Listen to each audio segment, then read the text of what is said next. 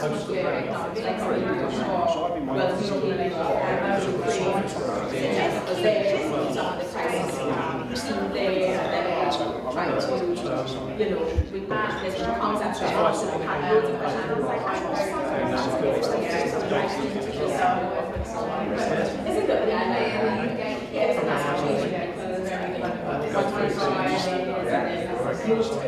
it's all having conversations. I know we haven't seen each other for a while, but yeah, I have fun. I'm sorry, I'm just wondering around. I know, yeah, we're ready to start.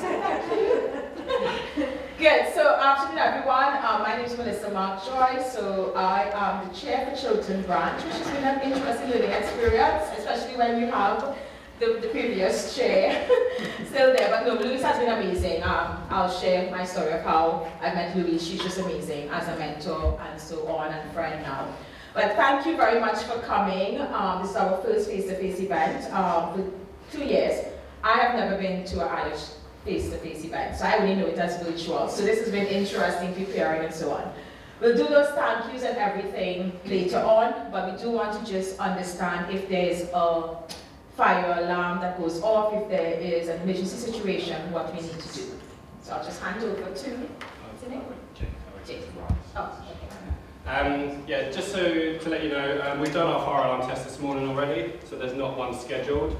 Um, if it does go off, you make your way through nearest fire exit, which is this one on the left, or if you're in the other room, it's on the left in the other room as well. Straight out the Oak building, and then you go into the end of the car park, and then a member of the staff will meet you there and then we'll, we'll direct you from there. Um, pick up only what you can pick up. Don't try and grab all your personal belongings and everything. Priority is to get yourself out of the building. All right. Um, but we're not scheduling anything, so there should be no problem. Okay. Have a nice afternoon. Thank you. Thank you, James. Okay, great. So came and tested everything, and now it's going awry. Okay, let's see. I want to fast forward this.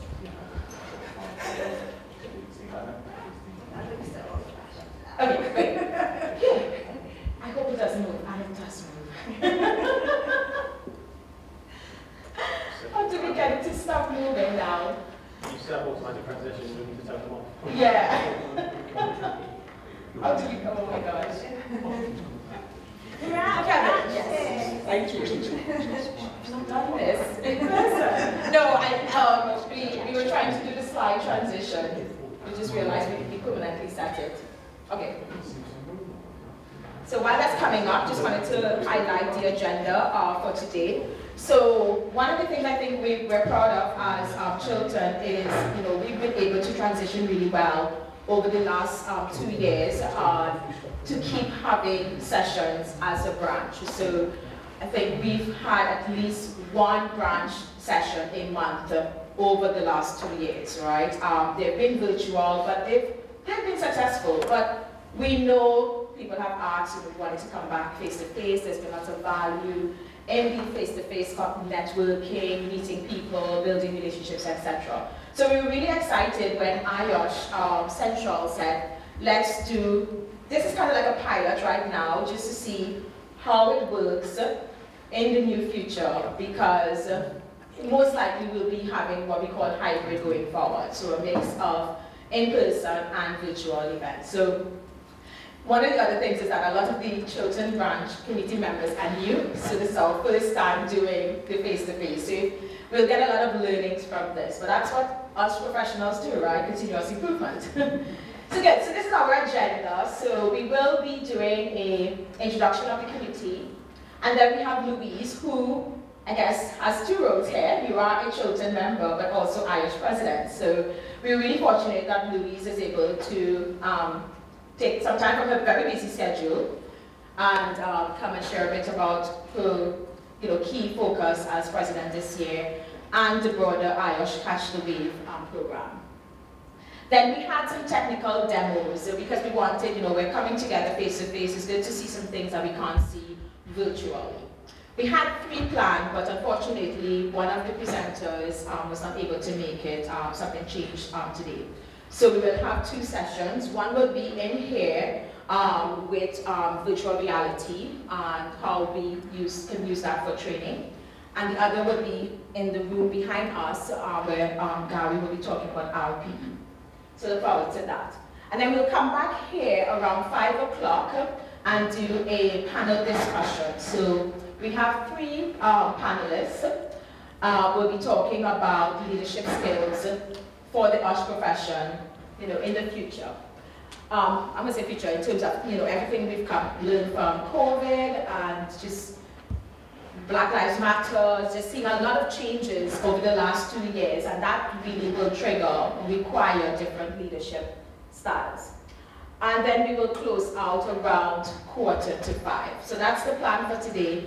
We also want to spend some time as a committee, um, you know, meeting you all, the members.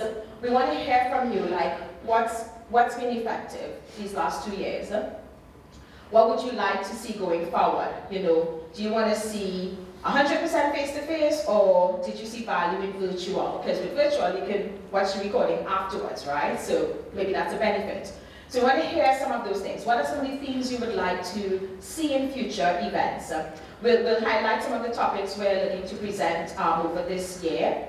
Um, the Back to Basics Summer School Series. We think it was successful, but tell us if it was as we plan, Luke is planning that for this year, so what should we be doing differently?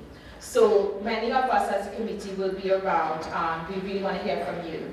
Uh, as a branch member, what do we need to be doing for you to feel valued and appreciated and listened to? So I just have a few slides before I ask Louise to come on. I hope that works. Um. I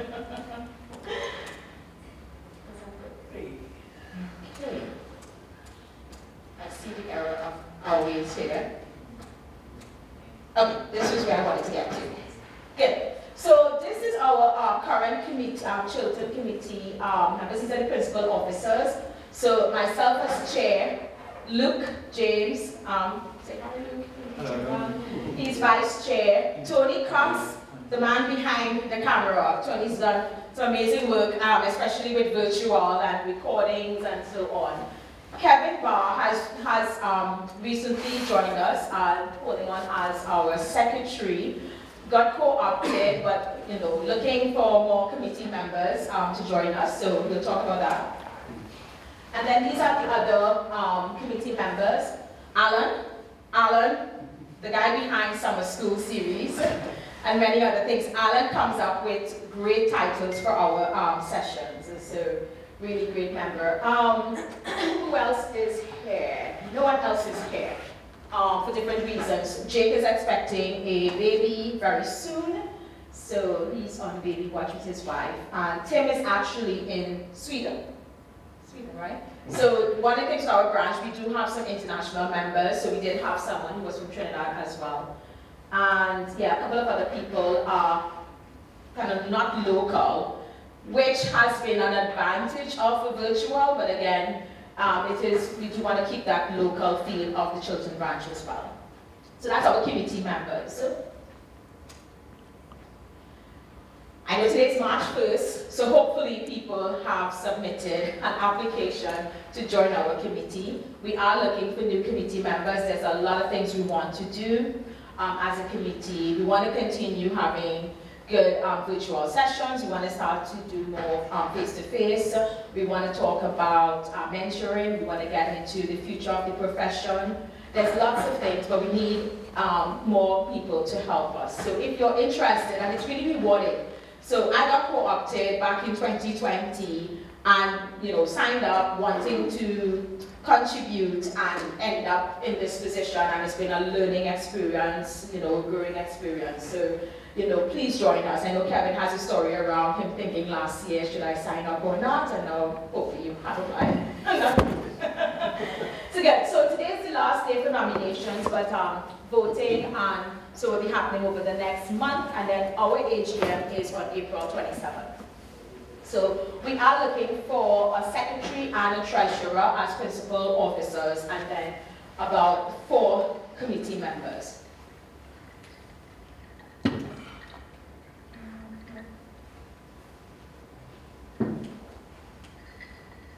Okay. Just a little bit about the branch membership. We currently have 596 members for Chiltern. And you can see here the distribution of our membership. Most of our members are CMIOSH and Grad and actually last year, five members achieved CM IOSH status. I don't know if any of you are in the, um, the audience here. Excellent, congratulations, Kevin. That's so good. One the we wanted to do was to find out who are the people who have moved um, status and you know recognize them. So want to work on how we can do that. We have one member that has become CF IOSH. Anybody in the audience became chartered fellow? If not, um, and 60 new members joined the branch um, last year. Now, so not a high number, but we have a lot of followers on LinkedIn. I mean, our LinkedIn followers are about 1,200, 1,250 or so. So we have a lot of followers which I do value having people, you know, from different locations learning, growing, and sharing. So there is something to say about virtual, um, but again, we know we want that local feel. And then 25% of our members are female. So um, just one of the elements we're looking at in terms of our um, branch diversity. I'm going to try to.